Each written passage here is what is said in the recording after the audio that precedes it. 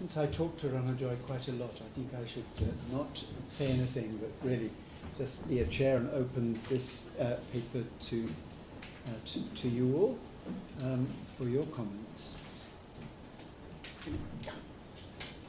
Uh, the, the question is really the Aam Party, and I'm going to press you a little bit on that. But two quick comments before that on the figures you've shown 23 million of people between the 18 and 23 age group Right. out of an 815 million is Mm. not a large number. Mm. Uh, it's less than 4%. So I was wondering where this youth vote thing, you know, I mean, it's, it's in fact, I, I'm surprised how, how low 23 million people are in, in that. So quick comments on that.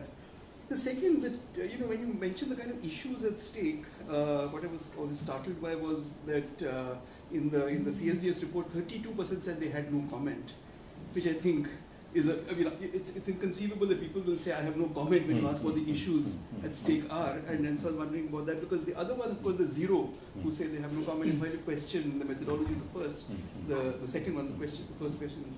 But, but coming to the Aam Aadmi Party, um, there's been a lot of debate as to politically what is this animal, uh, you know, where, where what does it stand for, and so on.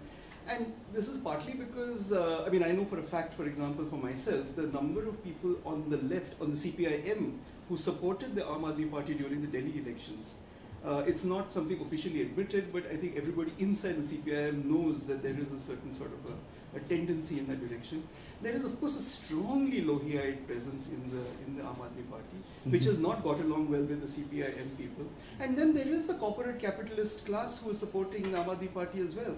Uh, you know, I mean, the Infosys chap in Bangalore, for example. Mm. You know, I mean, there is a certain kind of corporate. I mean, they would be not probably the Ambanis and the Tatas who do it, but there is a corporate presence that the Aam Aadmi Party has. So, what then is it?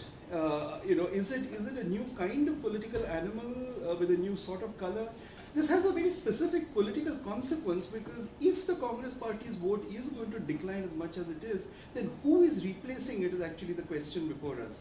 Is the question, is, is it going to be such a fragmented vote that you're going to have an enormous plethora of people who are going to sort of say, pick up the pieces following the decline of the Congress, or is there going to be some entity that is going to replace the Congress in any credible manner, you know, as, as, as a successor entity, you might say, I mean, in a manner of speaking, Congress minus a dynasty, you know, or something like that. So that's, that's really the question. I mean, what is the Aam Aadmi Party? Right. Uh, what's your understanding of it as a political entity?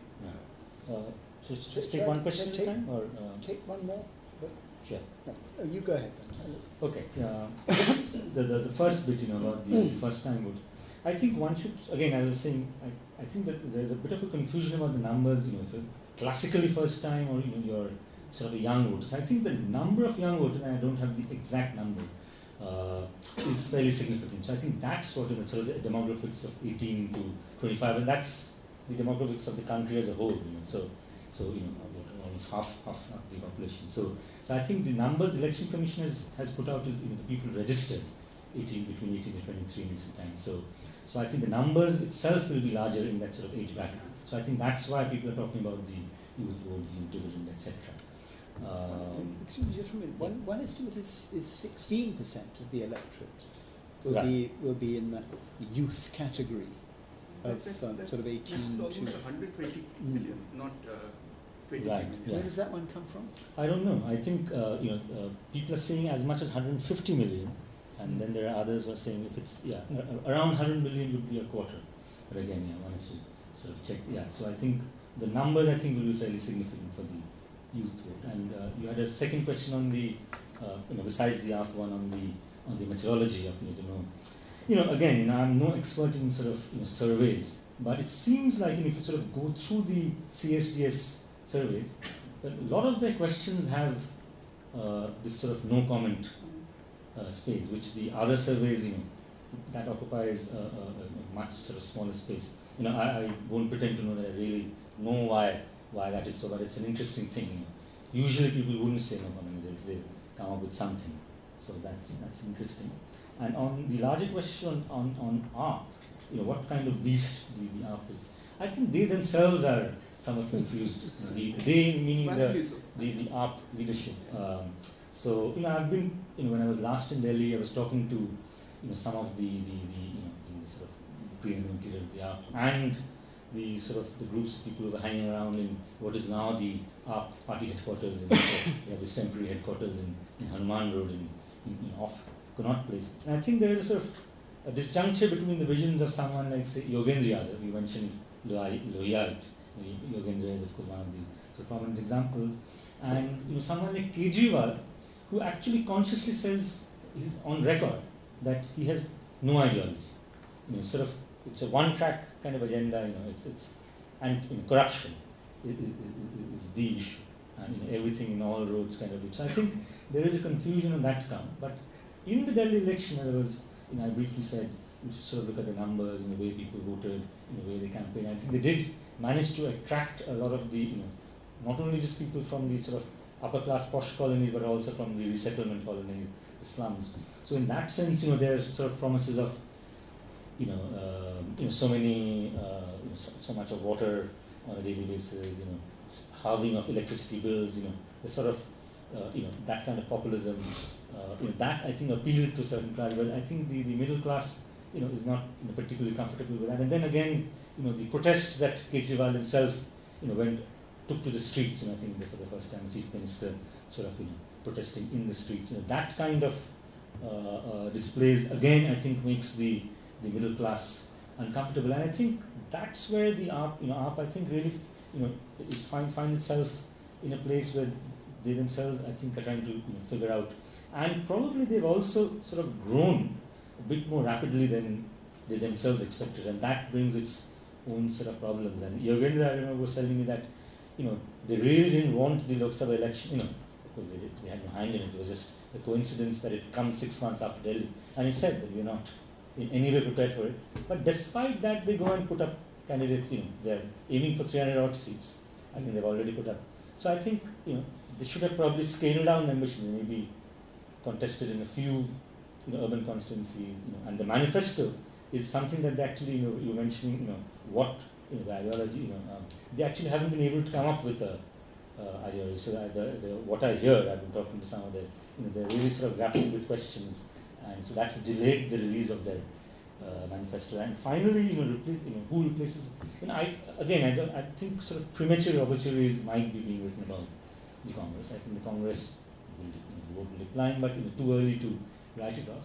AAP, I don't think really has the kind of wherewithal to, you know, replace anything like the Congress. But I think in certain states, certain you know, places, they they are probably occupying the opposition space somewhat better than the Congress, at least in raising some of the issues, but again, you know, not likely to translate into votes. Um, it seems to be that this time there are a lot of people who, uh, sorry, um, there might be a lot of people who who are deciding to vote on who they hate less. Right? Um, a lot of people, okay, if I vote for Modi, uh, how much do I hate dynasty? If I vote for for Congress, how much do I hate anti-secular ideals, right? And um, the Aam Party sort of comes in there, sort of like the Green Party in the, in the Green Party, right?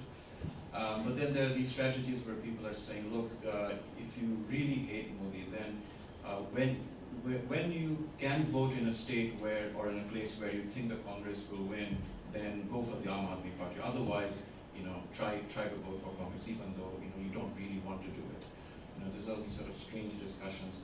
Um, is there is there uh, any kind of idea of that percentage of people who really don't want to vote for either party and are really stuck this time? I think it's it's it's it's a very uh, it's a bit more heightened this time. Yes.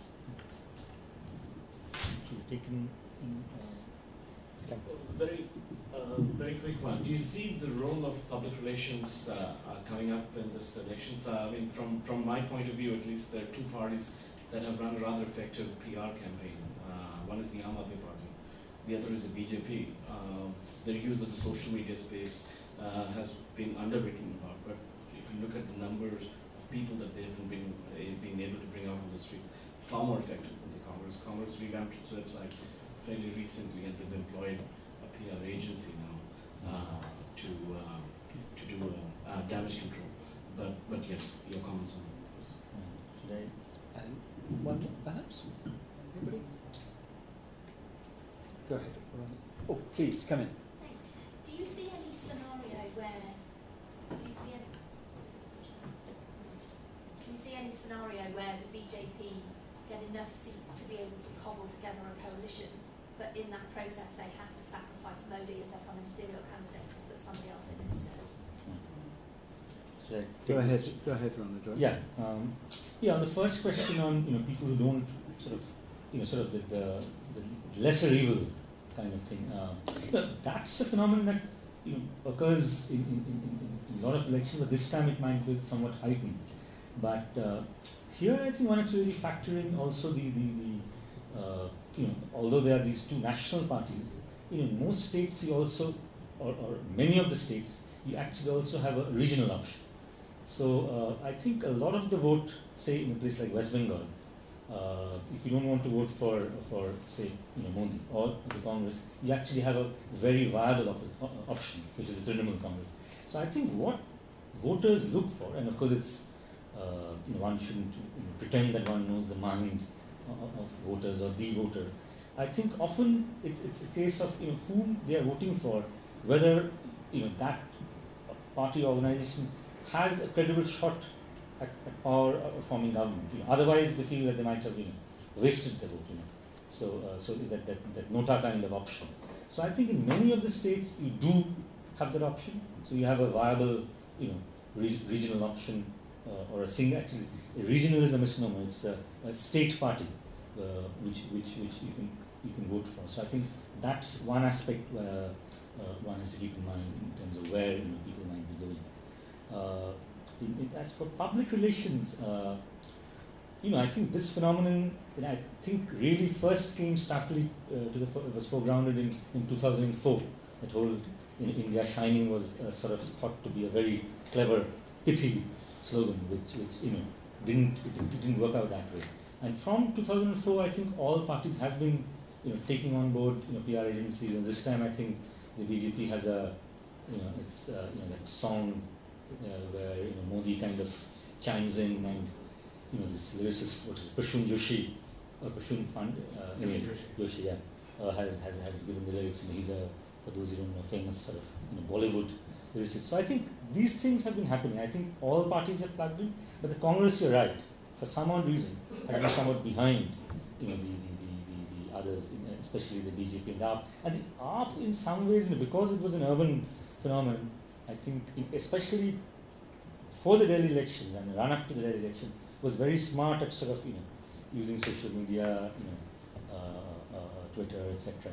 Now, you know, how much of that will sort of have an impact in, on, on a national scale, we don't know. But in the more urban constituencies, conceivably, you know, that could be that could be a factor. And for the BJP, I think another thing needs to mention. I think the, the over, you know, if you look at NRIs, I think BJP really does, you know, has overwhelming support. If you, and you know, but with AAP, I think there has been some, you know, I think some of that segment because you know uh, the AAP, a lot of the funding that there is for Delhi, actually a significant component was from NRIs and particularly Singapore. You know, the US led the, the numbers, but Singapore. Uh, so I think, yeah, I think there is a sort of churn happening there in terms of the presence of social media, using social media, but I think very much in its still in its incipient state. But PR agencies, I think, you know, most parties are using. Even you know, Samajwadi Party, which is kind of think is kind of you know a little behind the curve, and you know they have a fairly slick campaign. I watch, you know, I, I subscribe to any TV channel here. They have a fairly slick, you know, campaign promoting UP with the. And, you know, That's a tourism board.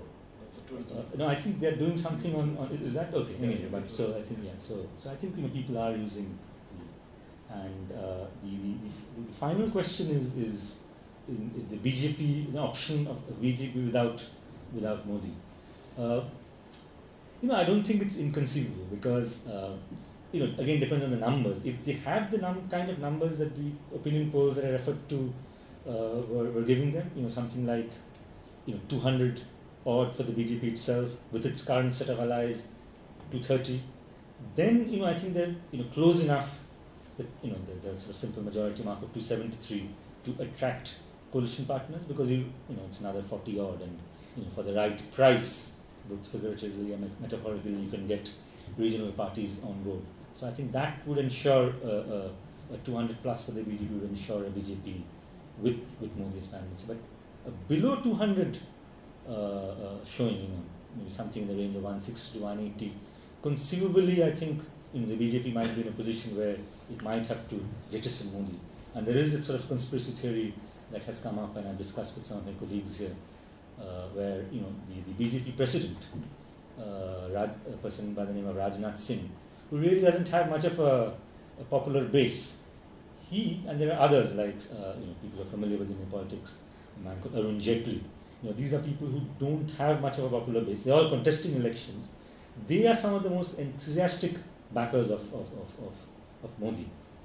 Uh, whereas some of the old guard, uh, again, people who are sort of reading up, uh, you know, people like Advani, you know, now we have just, you know, are, are, are somewhat you know, skeptical of, of. So I think the people, you know, these set of people who have really, you know, no support base by themselves are the ones, you know, hanging on to the coattails of, of, of Modi. And if there's a situation where, you know, they need to take on partners who are uncomfortable with Modi, you know, these are the people who could possibly step in. You know, Rajnath Singh, Arun Jaitley, you know, they might be more acceptable figures to say someone, a party like the Trinamool Congress. You know, Trinamool Congress, you know, a quarter of the population in, uh, in West Bengal is Muslim.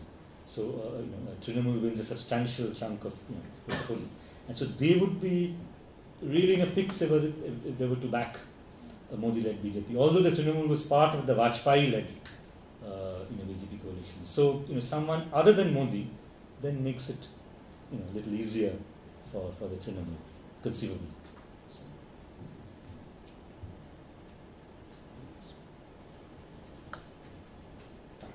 Um, just three. So, uh, three factors that we didn't talk about. I just want to get your reactions to it. Um, one, it's interesting, and my, my field is comparative also, comparing this to other contexts. Uh, again, this year, just like in 2009, India goes to elections at the same time as Indonesia. Uh, mm. and, and, that's sort of interesting that mm. uh, in some ways the same things that you say about Indian democracy, you could also say about Indonesia in terms of the scale, the difficulty of holding the elections and factors like that. So I'm sort of thinking Indonesia, uh, so I think today or yesterday the Straits Times reports that uh, overseas citizens can vote in that. And, and you mentioned the AP and the BJP dimension with respect to NRIs. Um, and I'm sort of wondering, what's your sense of that? Do you think that will become significant as we go forward? I don't know if there are demands for it, but it seems that increasingly a lot of countries are thinking of allowing overseas citizens to vote. And that's interesting that that's missing from our analysis mm. and how would that impact things. Second, um, gender. This also follows from Indonesian uh, politics. So in Indonesia, I think there is a requirement that a certain percentage of candidates have to be women. Uh, and so at one level in India, you could say that gender is a factor. I mean, if there is at all a third front likelihood, uh, people in West Bengal and Tamil Nadu are getting quite excited about either Mamata or, or Amma Jayalalitha becoming prime minister. And there are ad campaigns focusing on that prospect. So that's interesting. But my sense is, and you may have the numbers, that if you look at just like the Patrick French hereditary sort of uh, statistics for gender, I think the Indian elections still do very, very poorly in terms of the number of people who are candidates. Um, and, and, the third, absence, and, and, I'm sort of wondering how that impacts it. So I don't know whether there are any state elections being simultaneously held with the national elections this time. And, and that's interesting that in the past that used to sometimes play a factor, that you have a state election at the same time as the Lok Sabha election, and then people, would, the pundits would spend a lot of time trying to see how voters behave. Do they try and vote for one party at the state level and another at the national level? How that impacts. Uh, and that's again some dynamic which is absent this time, or, not that uh, played up. And is that a conscious trend that the election commission has moved towards, and how do you think that might impact the formation of central governments? Can, can I just throw in one then? Um, uh, going back and rather than uh, following on from those interesting questions. Um, I mean, uh, I, I am broadly sympathetic to your view that you know it's far too early to to write off the, the Congress, and as we've discussed, you know, we both think I think there is a, a strong sort of core of, of, of support for, for Congress, kind of no matter what they do, sort of sort of thing. But I must say, I find it very hard to um, imagine where the Congress is going to pick up 130 seats, which is pretty much what both the both the polls from the data from which you, you, you showed suggest. Um, you know, whether the Congress is going to pick up as many as 12 seats in the erstwhile Andhra Pradesh, I, I find that very, very hard to, uh, to, to imagine. And I just wonder what your sense of, of you know, where they're going to pick up um, those 130 seats. Um, should I just Yeah. take those? Yeah. Okay, yeah, I think a very interesting point made by Arun on sort of Mm. comparisons with Indonesia. One thing I think India has done well, you know, you just mentioned the, the difficulty of an election. I think the election commission is of course one of the most highly rated institutions in India. You you do surveys along, you know, I think that tops the list of the most trusted institution, followed by the Supreme Court and in the political parties at the bottom. And uh, so, in the way the elections are conducted, in, in terms of you know, whether they're free or fair, I think India has, you know, I think, made fairly dramatic strides. You know, I can sort of testify, you know, my journalist days, you know, when I covered elections, say, you know, 10 or 12 years ago in West Bengal, you know, you could see instances of, of, of rigging. You know, West Bengal was famous for something called scientific rigging, rigging which the communists had you know, perfected. You know, at certain times of the day, going to capture the booth. You know, some of that has gone down with, with the use of the electronic you know, voting machine EVM. So I think in, on that count, you know, I think the election commission record, I think, has, is something to be you know, fairly you know, proud of. But uh, in terms of overseas citizens, uh, there doesn't seem to be that much talk. I just read an item, and this is something I haven't really researched, where the election commission has thrown the ball to the government's court, uh, saying, you know, it's for, you know, of course, the election commission, I think on this count, you know, I think it needs legislation to, to enable uh, overseas citizens. And I think there are certain, you know, logistics involved there, not insurmountable, but I think, uh, you know, the issues out there, but not top of the agenda, but increasingly with, you know, number of NRIs, you know, diaspora, you know, it, it should be a, an issue, but oddly enough, doesn't seem to be that much of an issue. You know, again, I don't have a very good answer. Gender, yeah, you know, I think the you know, I don't have the exact statistics, the numbers,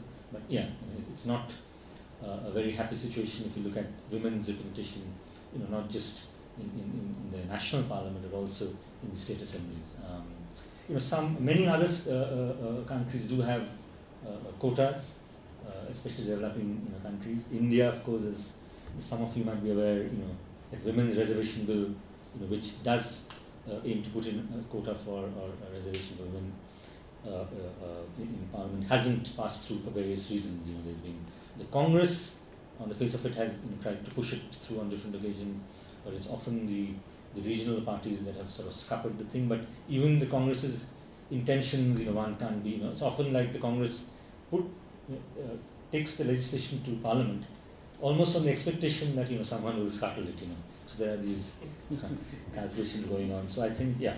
But of course, you know, on the other side, as you mentioned, there are you know powerful women leaders. So India had a prime, women prime minister far, you know, way before. You know, of course, America still hasn't had a woman president. So Indira Gandhi, you know, arguably one of the most you know, sort of dominating, powerful sort of prime ministers in India way back in, in 77. And oddly enough, South Asia does tend to throw up, you know, women women leaders. You know, so in Bangladesh we have the two two women. So uh, so um, so yeah. So in that sense, in symbol, at a symbolic level, you do have you know not at the just at the prime minister level, but you know you do have very strong regional leaders. You mentioned Jayalalitha, Mamata, Mayawati. So there is the dis- disconnect, you know, uh, between you, know, you have party leaders, but you don't have at, at, at a greater level, you know, greater representation uh, for for women. A bit of a conundrum there. Again, I don't have an answer to why it's not happening. And a final uh, question was, you know, whether you know there's a conscious decision to separate state elections from. Uh, so I guess Andhra Pradesh, John. It will be. Uh, Yeah, yeah. So they actually could have gone, I think, technically, to elections along with the national elections. I think you're right. There, uh, uh, I think there is a conscious decision by the election commission uh, because of the sort of you know, the scale, the logistics of the, the operation. This time they've actually strung it out over nine phases, which is also sort of you know, the first time they're doing it over you know, one and a half months. So I don't think they want to you know, factor in another uh, state election. Even Delhi now is under Lieutenant Governor's rule after the Aadmi Party, you know, after that 49 day government. So they too need to go to election. And I think there's a six month window. They could have conceivably gone to election along with, again, they've decided, um, you know, again, Haryana comes. So I think it's a conscious decision to separate state elections from um, parliamentary just because of the, the, the logistics involved. And, you know, where the Congress will win its seats. Yeah, that's sort of a million dollar question. uh, but I think precisely, I think the, the answer is, is, is in somewhere in a question. Because the Congress has a national presence where, you know, as if you recall some of the statistics that I was shown, you know, it's been, you know, last election it won 28% of the votes. Now, you know, if it sort of comes down, say, to what the BJP won last time, say 18, dramatic fall, you know, the BJP still won, uh, you know, 100, what was it, 120 odd, Yeah, 16 or whatever the number was seats. So conceivably, the Congress, even with that kind of numbers, will win. You know, they, they won't sweep states, but I think they'll win a small number of seats from almost every every uh, state in India, and that I think will, I don't think they're going to get big numbers. Two states where you know this is again, you know, surveys versus sort of you know gut feeling and talking to journalists who are out there. You know, I was uh, Assam, smallest state, uh, one of the smaller with 14 seats. It seems is going to buck the national trend, and and and uh, you know, Congress. Even the surveys actually show Congress doing you know, quite well in Assam, you know, because that might win what something like you know, 10 seats. Uh, Karnataka is another seat, but some opinion surveys are writing them off. But I again, you know, having talked, you know, uh, uh, you know, it's it's got 20 plus seats. The Congress did well in the last election. They could conceivably win, you know, again something in the region of 10. So that kind of adds up. And again, in a lot of states, I think, you know, including states like Gujarat, the Congress didn't do too badly in Gujarat. You know, they had 10 plus seats, even with sort of, you know, the Modi's dominance, etc. So, Mm. you know, all those numbers, you know, Maharashtra, I think, you know, co- the Congress might just pull out a few seats. Again, I think part of the thing is the Congress, I think the underestimation of, of, of, the Congress and, and the fact that the BJP almost believes or is behaving in, in a manner that they've, you know, won the election. I think in some ways you can never underestimate the voter and as, as we discussed, I think these, some of these surveys show a lot of voters, you know, large, again the CSDS survey shows a quarter of the voters apparently, you know, take the decision on whom to vote in the last two days or even in the last. So in a lot of this Modi wave, the media hype, you know, might all be sort of, you know, and these surveys might all be sort of, you know, you know, they might not be getting it totally wrong, but maybe they might be slightly off. So I think I think the Congress, the only way they can win is, you know, these small cluster of seats, so the sixes, the tens. If you add it up over 20, 20 seats, it actually comes up to 100, you know, 100 plus. But yeah, I don't think, you know, that conceivably they don't have a chance of winning, you know, more than 120, 130 seats. But again, we, we proved wrong earlier.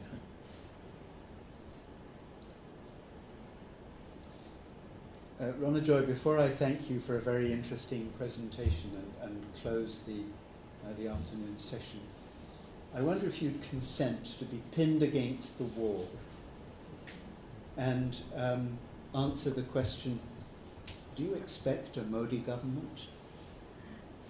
Well, uh, yes. Okay.